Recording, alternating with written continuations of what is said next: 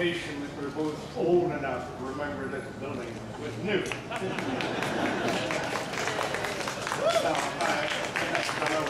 The truth is, we've had a dry run and been pulling things out of the box. And we know that mistaken generality is about what the, the research institutes are supposed to do.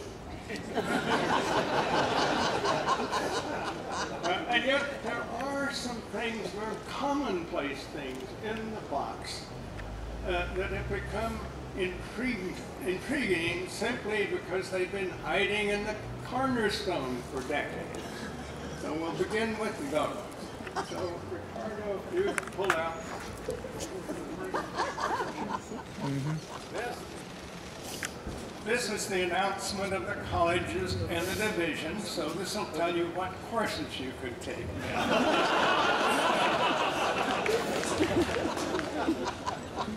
Things like equitation and hippology. This, this is the telephone directory for the University of Chicago, 1948. Now, uh, I should have brought the today's uh, telephone directory. It's two volumes and much bigger. Depending on the wives.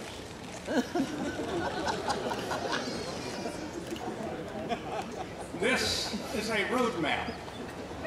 You could pick up at your at your Mobil oil gas station while someone uh, pumped your gas, uh, checked the oil level, filled your radiator, uh, and clean your windshield. Now we come to a bundle of timetables.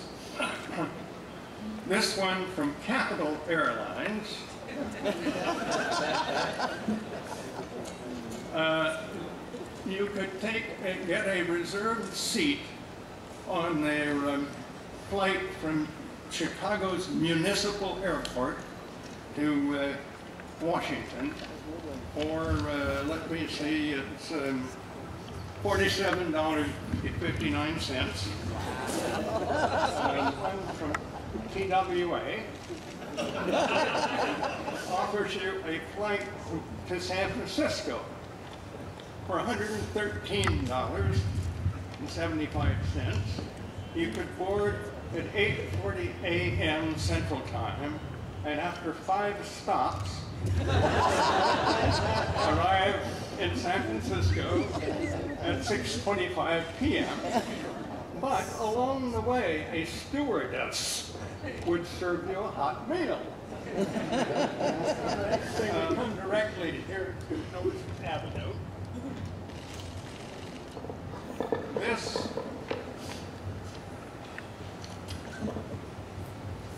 This is the architect's rendering of the Research Institute's building.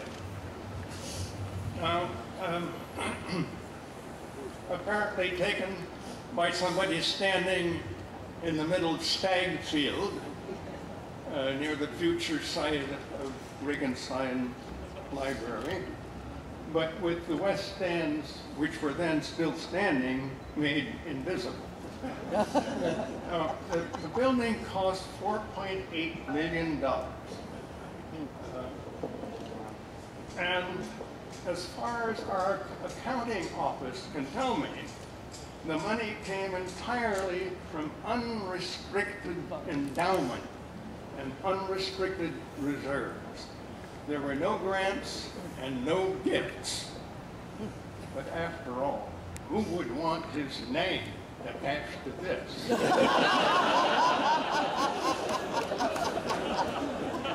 we should never underestimate the side benefits of having a real donor. uh, the next, the next document uh, describes the three institutes to be housed in the building. The Institute for Study of Metals, the In- Institute for Nuclear Studies and the Institute for Radiobiology and Biophysics. But in, in the document, the fields of research were abbreviated to nucleonics, metals, and biophysics. But nucleonics turned out to be a lot of non-nuclear things that I will come to in a few minutes. Metals was a lot of non-metallic things. Liquid helium and uh, granular solids. And a lot of, of the best biophysics was initiated in the nucleonics part of the building. Uh, Let's see now. This is at- atomic research, the new frontier of industry. It was a pitch to industrial sponsors who were asked to give $50,000 a year for the privilege of easy access to our classrooms, our faculty, and our seminars. But Alas, a sponsor who sat mystified in a seminar, say on uh, a new quantum number, uh, found himself no closer to uh, the new frontier of industry. So this relic is all that remains of the institute.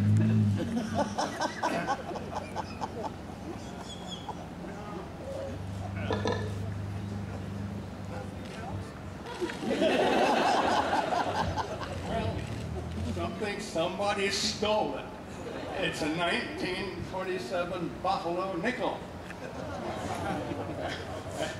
And I don't know what it is. This is serious. We've got the resident.